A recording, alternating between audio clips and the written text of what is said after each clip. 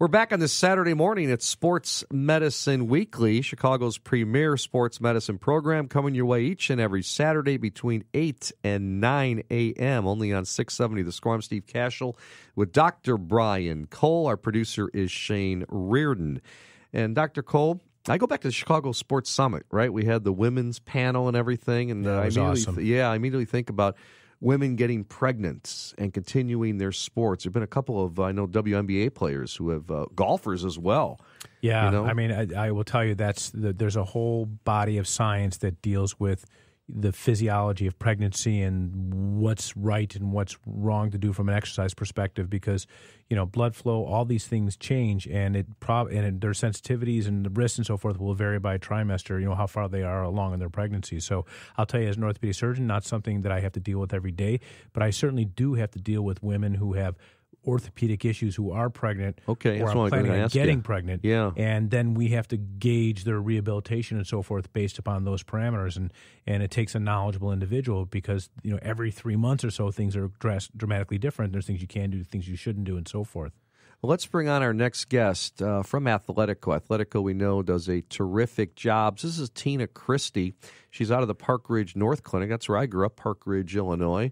Love Park Ridge. And our topic is pregnant runners, tips and guidelines to ensure soon to be moms are running safely. Immediately, Tina, thanks for joining us here on Sports Medicine Week. I thought, um, do any pregnant runners participate in these races, the 5K, or even, should I say, the Chicago Marathon or other marathons? They do, and um, thank you for having me. There are many pregnant women that are exercising well into their third trimester as well as up to the day before delivery. And there are many women who look at running as one of the easiest ways to continue to exercise.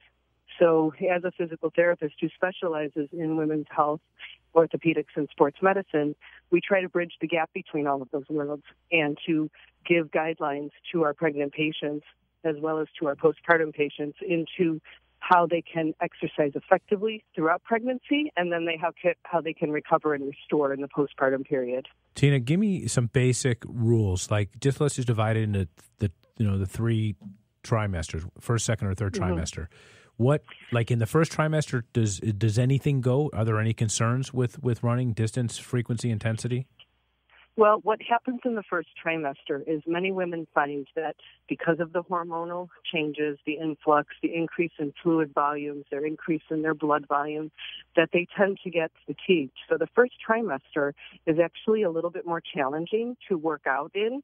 And then as they get to that second trimester, they actually notice that they have more energy and more ability to participate in exercise classes, in running, in yoga, and things of that nature. Then as they approach the third trimester, they start dealing with some of the more physical dramatic changes in the respect of the weight gain, the belly changes, and then they have to accommodate their exercises and possibly change it a little bit. And one thing that we really, really like to emphasize is we'd like them to listen to their body. So we want to give them those guidelines through each of those trimesters to say, you know what, if you have these particular situations happening, which we can talk about, this is what we want to suggest in how to deal with those issues and if it is safe and appropriate to run during that time or if maybe we want to make some modifications. We're visiting with Tina Christie here on Sports Medicine Weekly from the Park Ridge North Clinic from Athletico, talking about pregnant runners. Uh, Tina, what are some of the red flags for a woman who is pregnant to be on the lookout for? So, a few of the red flags. First of all, as long as their doctor has cleared them for exercise and there are no high risk issues, that's number one in priority. Then the second ones are if they experience any type of pelvic pain, pelvic pressure, any type of bleeding, we would want them to alert their doctor to that. Then, as we go on to if they are feeling good and they participate, if they experience any type of incontinence, so we'd be talking about stress incontinence. If they sneeze, cough, laugh, or during a run or any type of impact exercise, if they have incontinence, that means there's a breakdown in the system and the intra-abdominal pressure is not being managed well. So that would tell us, you know what, maybe we need to give them some exercises that actually would help improve the entire pelvic core neuromuscular system working as a unit so that they don't have those symptoms. And then from the perspective of if they have joint pain, if they have any pain along the hips, the back, the ankles, the knees, we would want to be able to give them special exercises to help improve their ability to participate in the exercises that they wish to. Because as we know, pregnancy and the event of labor and delivery can be one of the most athletic events that they will go through. Let me ask you uh, maybe a, a, a, separate topic. Um, I deal with a lot of runners who, when they get injured, the psychology of injury and the inability to run can be pretty paralyzing for, for lack of a better word, for some of my patients just because Absolutely. it's part of their psyche, you know, for lack of a better word.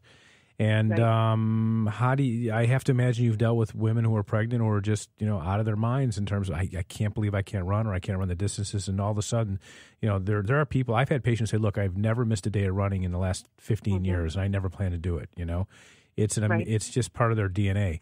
So have you had to deal with that psychology of uh, women who you say, look, we've got to make some changes here, and this is why. And obviously, you're pregnant. It's not just you. You're you know you're you're more accountable now, and so forth.